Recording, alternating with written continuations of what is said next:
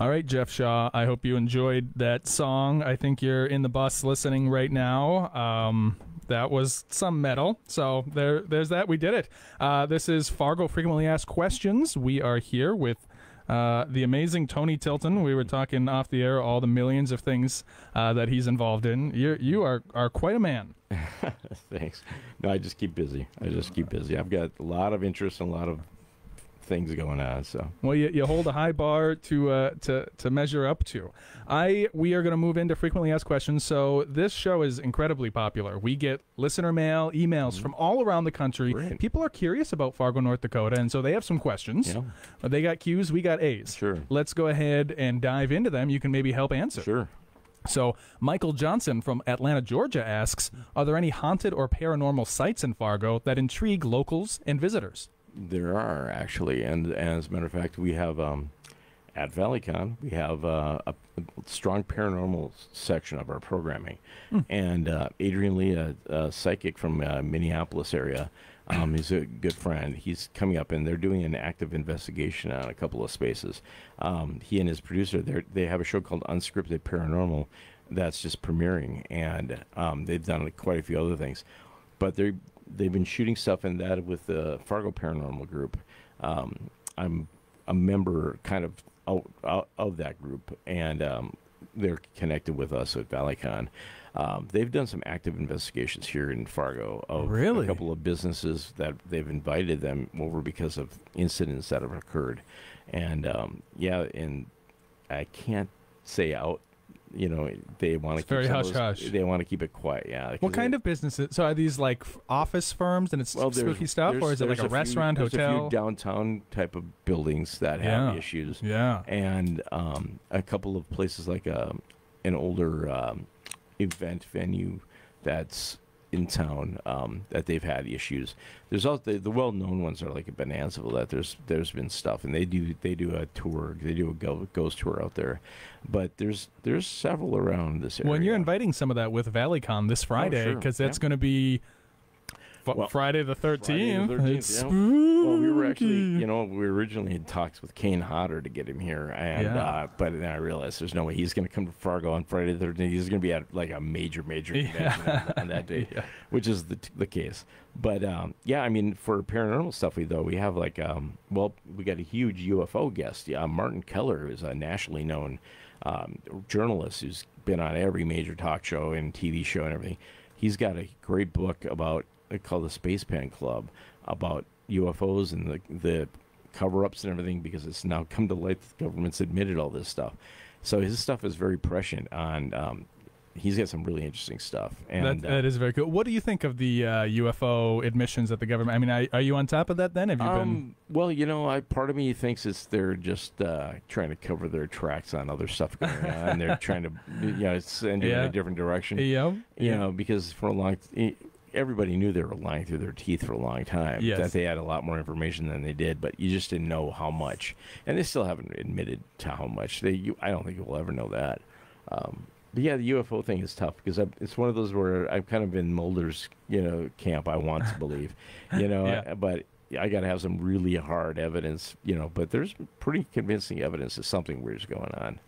Um, but yeah, I mean, the other one is like Bigfoot. We have uh, we have the She Squatchers coming to ValleyCon as well. Really? Yeah, they're uh, re- they're actually a national group of all female Bigfoot um, hunters, cryptid investigators, and two of them live in Fargo, but the other one's in North Carolina, and they travel all over the place.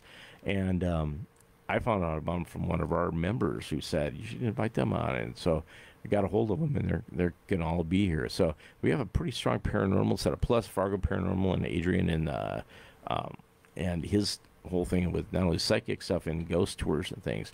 Um, all that's going to be going on at ValleyCon aside from Adrian Paul and Billy West, who's our other. I was guest. I was going to segue to yeah. it if you didn't get there yeah, because Billy that West is, Billy huge. West. I mean, yeah. you for people who don't know, I mean he he's the fried, voice of everybody. He's, well, he's, half of uh, Futurama. Stimpy. Actually. He's Zoidberg as well, and he's oh. the professor on there. Yeah, he's, he's Red uh, Red M and M on the, all the M and M commercials. Oh, really? he's Bugs Bunny now. Oh, he took over doing Bugs Bunny. That's amazing. last couple films and everything. That's amazing. Um, yeah, Billy's done everything, and um, yeah, Ren and Stimpy, and uh, so do you get to meet him personally? Oh yeah, That is so Yeah. cool. I've met uh, most of these people long before I would get them out here. Actually, Wow. I, I traveled out. I used to well, I used to cover San Diego Comic Con for uh, NBC. I'd I'd fly from Fargo, go out to San Diego, and shoot video, and uplink it to NBC for the the network because they like the fact that I knew what I was talking about. A lot of people go out there and they just do, well, here's the geeks on parade kind of story Yep. and it always pisses everybody off. So San Diego, they couldn't get away with that. So they said, no, go ahead and do it. We'll cover your expenses and stuff. So it's like, great, I get to go for free and a press pass, best way to go. Um, so I did that for 15 years when I was at, at KVLY still, and um, and I loved it. But it it got uh, the last one I did was a couple years ago, right? A couple years before COVID hit, and um, it's gotten so big. It's just a pain out there. I mean, it's something people should experience at some point, but it's ridiculously huge.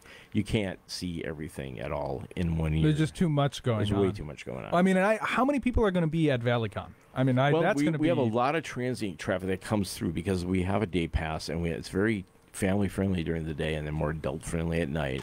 So we have literally thousands of people that come through through the weekend, but at any given time there might be 500 to 1000 people there you know? It it's so it's packed it's always busy but it's it's it's kind of deceiving until you find out how many you know, these same people were only here for two hours and took off. They came Yeah. in checked out the vendors did one or two things. A lot of people come because they just want to meet you know adrian paul or billy west or somebody get an autograph and then they're they kind of take off. It's like that's fine that's part of the gig.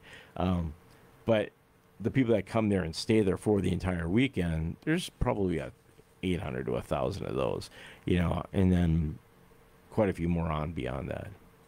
I just can't get over Billy West. That's. I mean, I grew up on Ren and Stimpy. Yeah. I uh maybe this isn't very cool, but I show it to my four year old. As she and I watch Ren and Stimpy. I, I I would be so cool to introduce my daughter to my daughter Michiko. Just show her Ren and Stimpy and gotta bring her. Gotta bring her. Billy's a cool guy. He's a lot of fun, and um, he's hilarious. His panel is Saturday afternoon. I think it's three or three o'clock or four. o'clock. It's right around there. Um, but check the the program guide is online, by the way. So if you want to check out the program guide for ValleyCon, yeah, just go to valleycon.com. valleycon.com. Big blue yeah. button right on the front page. Just click on that. Let it load because it's a big file. It's a it's a huge PDF of the whole program guide, and it'll show you what's going on. That is that is so cool. I I'm starstruck just thinking of that. I'm that I'm talking to a person who talks to Billy West. That's I'm two degrees from Billy West now. That's very very cool. We are going to move into Gorillaz with their song Left Hand Suzuki Method, and we will be back with the Fargo Fresh. Don't go nowhere.